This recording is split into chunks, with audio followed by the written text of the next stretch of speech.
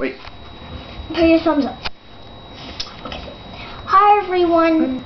Um, I'm Van- I'm Olivia, and Olivia. this, is, Vanessa. And so this is Vanessa. This is me, Olivia, and um, we're presenting you a book here. You can save a lot of money on, as it has coupons. Please Mhm. buy one, cause if you do, it's helping my school and it can save you some money. But if you're out of Ottawa, you can still buy a book.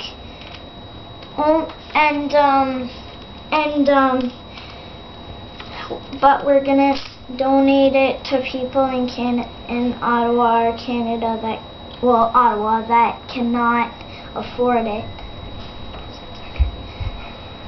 Please, Please buy a book. It's only thirty-five Bye. Bye. I love you.